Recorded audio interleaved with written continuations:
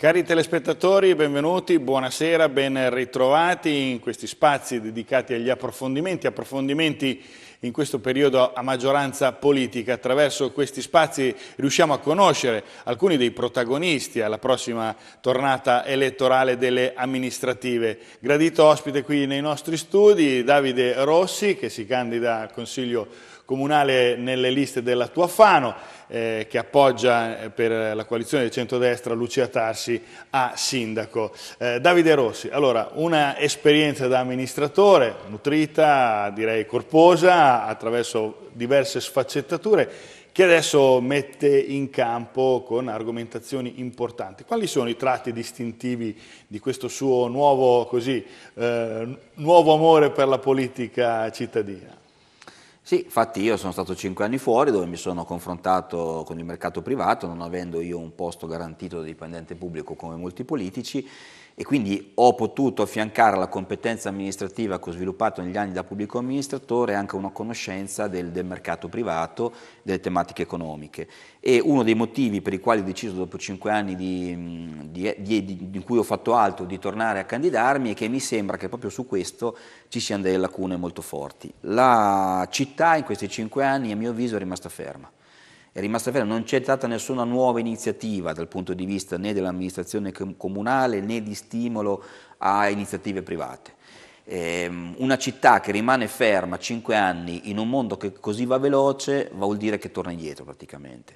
E in questa città, se ci pensiamo, al di là della, di una grande azienda come la Profilgas che continua ad assumere e che per fortuna crea occupazione, non c'è stato null'altro di nuovo null'altro di nuovo e quindi questo mi ha portato a pensare che sia necessario che alcune persone che hanno delle idee, hanno delle competenze, le mettano, le mettano a disposizione. Ad esempio, una proposta che mi sento di fare sul tema economico, una proposta di metodo, diciamo così, è quella di mh, istituire un forum economico, cioè un luogo messo a disposizione dall'amministrazione comunale dove le forze produttive, economiche, e sindacali della città si confrontano, ad esempio con cadenza trimestrale, perché ci sia un lavoro interprofessionale, quindi professioni, imprenditori, sindacati e tutte le forze economiche che agiscono nella città che possono elaborare loro le strategie, sulla base di quelle che sono le loro difficoltà, speranze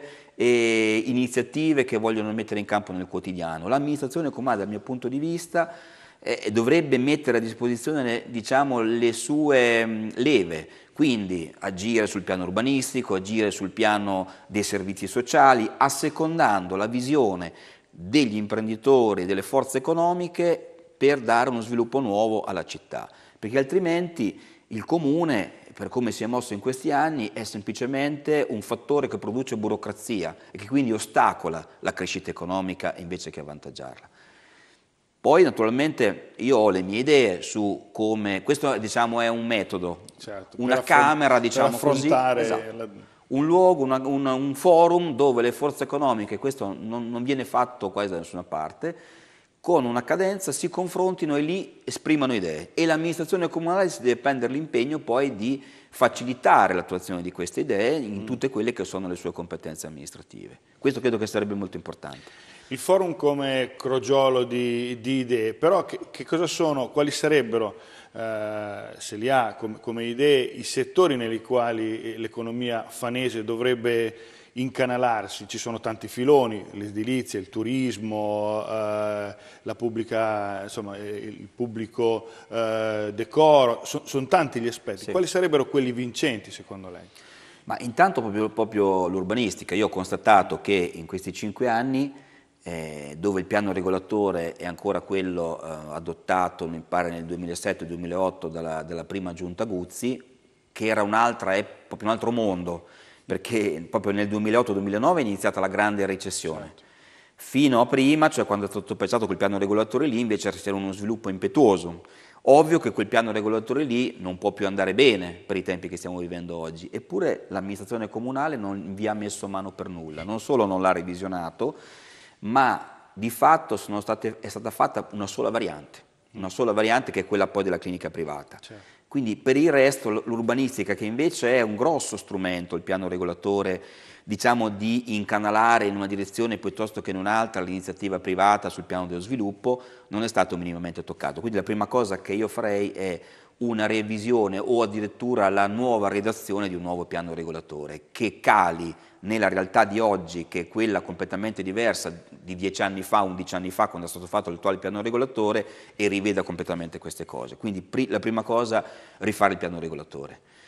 La seconda cosa che io vedo come estremamente importante per la nostra città come volano economico è la cultura e il turismo, che sono tra l'altro settori nei quali, dei quali io mi sono occupato, sia come assessore quando ero assessore comunale a Fano sia come assessore provinciale, mi sono interfacciato con la regione, sono, ho lavorato col Ministero dei Beni Culturali in questi anni, quindi credo di avere una visione che nella nostra città pochi hanno su questi temi qua. E, ehm, e quindi credo che lì noi possiamo fare molto. La cultura, secondo me, perché sia anche uno strumento di crescita economica, deve essere ovviamente vista coniugata con il turismo. E qui una piccola critica la voglio fare. Io credo che se noi vogliamo crescere economicamente attraverso la cultura e il turismo, non possiamo avere visioni solo localistiche da proloco, lo voglio dire. Perché quelle vanno bene, sono una parte del lavoro della città, ma quello non può diventare in una città che non è un piccolo comunello la visione preponderante di come si fa cultura, di come si fa turismo. Ci sono, noi dobbiamo sposare la tradizione con la modernità. Noi abbiamo una tradizione culturale importantissima che è la romanità e altre iniziative culturali che sono diventate nel corso dei decenni e dei secoli tradizioni come il carnevale. Mm -hmm. Io credo che lì attorno, attorno a queste due tradizioni si debba sviluppare tutta la nostra offerta culturale e turistica. Faccio un esempio per essere concreto. Io quando ho fatto l'assessore alla cultura a Fano ho cercato proprio di sforzarmi di fare questo. Quando facevo i eh, cartelloni del teatro, ad esempio, a cominciare dalla lirica, cercavo di non fare un'operazione che si poteva fare indifferentemente in qualsiasi altra città d'Italia. Oggi è così, eh, sì. oggi è così, i cartelloni pur dignitosi che propone il nostro teatro sono quelli che troviamo in tutte le altre città. Noi facevamo un'operazione diversa, io quando ero assessore ad esempio riportai la lirica a Fano, che era stata cancellata precedentemente, ma lo feci legandola alla stagione di Carnevale. Noi siamo una, città del Carnevale, l'abbiamo messo persino nello statuto del nostro comune, certo.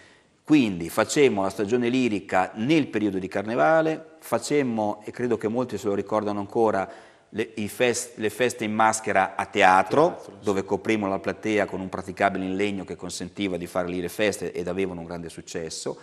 Stessa, lo stesso cartellone della stagione lirica era caratterizzato sui temi del carnevale, quindi opere buffe, opere che diciamo, avessero a che fare con un periodo gioioso e giocoso come il Carnevale. Fondai il Centro Studi Vitruviani, legato appunto alla, alla romanità. Noi abbiamo questa fortuna di avere eh, questo legame con Vitruvio, io per chi magari non lo sa, non se lo ricorda, Vitruvio è eh, considerato eh, un architetto, è un architetto Romani, de, de, dei tempi di Roma, Fano è stata Roma, non dimentichiamocelo, e Vitruvio era un è considerato in tutto il mondo un po' l'iniziatore della cultura occidentale moderna, colui che ha pensato per la prima volta l'architettura in, in, in termini moderni ed è una figura che viene studiata in tutto il mondo. Lui è famoso per avere composto un trattato amplissimo che si chiama di architettura, in questo trattato che è alle fondamenta della cultura occidentale, come unico luogo dove lui parla di aver realizzato un'opera c'è Fano, è Fano, la Basilica di Fano, che Abbiamo provato anche a cercarla, certo. non l'abbiamo ancora trovata, ma questo anche sull'archeologia potremmo fare un discorso. Noi dobbiamo sfruttare questo filone. filone. In questo momento il Centro Studi Vitruviani invece è lì che langue, onestamente. Ecco, questi sono un paio di esempi, ne potrei fare altri. Certo. Un altro che ne faccio poi termino, eh, misi insieme le compagnie teatrali dialettali fanesi e facemmo un festival che c'è ancora oggi, che è Cianfrusaglia. Sì, sì Ecco, e langue un po' anche quello. E langue anche quello. Quindi si tratta di ripartire da lì, secondo me, ripartire okay. dalla convinzione che noi abbiamo delle tradizioni sulle quali innestare la nostra identità utilizzando tutto ciò che la modernità oggi ci mette a disposizione, app, strumenti di tecnologia, strumenti di promozione e comunicazione del nostro territorio che oggi sono effettivamente per chi li sa usare straordinari. Alcune città lo fanno pur non avendo il patrimonio eh, culturale di tradizioni esatto. che abbiamo esatto. noi. Noi abbiamo le carte regole per farlo, quindi quello è un altro, un altro grande strumento, un altro grande volano economico che noi abbiamo. Ecco, l'assist è, è giusto che, che, mi ha attirato perché penso che turismo, cultura debbano essere coniugati con programmazione soprattutto, ma anche promozione. Qui bisogna cercare anche un'identità di Fano probabilmente sì. in questo. È vero, è vero e devo dire che questo, questo aspetto qua, a mio avviso, è mancato in generale in questa amministrazione, cioè è mancata una strategia, non solo sulla cultura e sul turismo. Un grave difetto che mi ha spinto a tornare anche in campo è questo, cioè io credo che noi siamo una comunità che meriti una visione da parte di chi l'amministra chiara, cioè una strategia dove vogliamo portare questa città nel panorama regionale non solo nei prossimi cinque anni. Se manca una strategia prevale l'aspetto burocratico, il vivere giorno per giorno e la nostra città non si merita questo. Io credo di avere delle idee e aver sviluppato una competenza che mi consente invece di delineare una strategia per Fano. Adesso noi abbiamo pochi minuti in questa trasmissione, ho cercato di dare certo. alcuni spunti, ma noi abbiamo bisogno di questo. Molto spesso io ancora sento, no, come se noi fossimo un grosso paesone invece che una città di rilievo, che un amministratore lo si giudica anche magari sulla base della simpatia personale, quella è una brava persona. Io mi rendo conto che queste cose qui sono importanti, se uno è una brava persona è meglio che non sia una, certo. una cattiva persona. Però non può essere solo questo, perché il sindaco e gli assessori devono essere persone che sanno trattare anche con le cattive persone, e devono essere persone con cui noi non è che mh, mm, ci andremo a passare una serata perché sono simpatici, ma sono persone che sanno esattamente qual è il bene della città e conoscono, hanno la cultura, la competenza per, portarli, per portare la città esattamente lì. Io questo in cinque, questi cinque anni non l'ho visto, francamente. Mm. Un ultimo aspetto che vorrei toccare è quello dell'università, che, che, è legato sì, al tema della cultura certo. del turismo. Eh, L'università a Pesaro addirittura è stata chiusa per mancanza di fondi, da noi ancora c'è, ma qualche problemino mi risulta che ce l'abbia, non vorrei che finissimo come Pesaro. Mm. Allora, secondo me, l'esperienza che ho fatto in questi anni nel campo privato, mh, anche sul piano proprio internazionale, mi dicono che ci sono università estere interessate ad investire, che hanno disponibilità finanziarie ed economiche dall'estero. Ah, penso ad esempio alla Germania, dove mm. ho avuto un'esperienza di lavoro, ma non solo, dove attraverso dei bandi noi potremo, proprio grazie al patrimonio culturale che abbiamo, attrarre università estere che potrebbero investire in questa città, in collaborazione, certo. non in sostituzione anche le università più locali, ma potrebbero portare mh, quelle risorse finanziarie che ci potrebbero consentire di diventare davvero una città universitaria di un certo livello. Si crea anche un flusso, no? un flusso di idee, un flusso di competenze che sicuramente, anche se diciamo, non, è una nicchia se vogliamo, oppure una piccola fetta, però comunque è un indice indicativo di, eh, di qualità di vita, quality of life elevata della città, sì, sì. perché se ci sono certe cose vuol dire che la città città esatto. ha un certo standard. No? E, e, comunque un indotto economico lo porta, se pensiamo che una città come Urbino vive prevalentemente di quello, io non dico che noi dobbiamo diventare certo. una città universitaria come Urbino, però potrebbe essere uno dei settori, insieme ad altri ovviamente, che danno respiro alla nostra economia. Anche visibilità, perché poi visibilità. dopo quando si, ci sono delle cose che vengono fatte in città, dopo la risonanza del paese a livello anche internazionale, eh, dove è stato fatto, a Fano, dove, cioè, quindi anche questo come veicolo di promozione potrebbe essere... Abbiamo bisogno di pensare un pochino più in grande, abbiamo bisogno di pensare a questa città in un panorama che non sia solo quello sfittico provinciale io credo di, in questo se gli elettori mi daranno la possibilità di poter dare molte idee e un bel contributo anche di energia.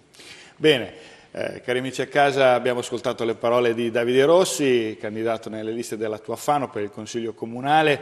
Eh, la Tua Fano appoggia Lucia Tarsi a sindaco. Eh, turismo, sviluppo economico, cultura, tematiche che Davide Rossi conosce molto bene perché le ha toccate in prima persona abbiamo visto la sua visione di città in, queste, in questi termini. Grazie, grazie per essere stato qui con noi e anche a voi grazie per averci seguito in questo appuntamento e in questo approfondimento. Alle prossime puntate. Arrivederci. Arrivederci.